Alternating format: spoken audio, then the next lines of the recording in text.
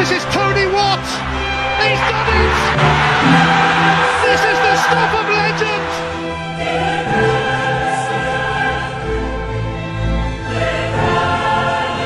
done his bit. Someone else!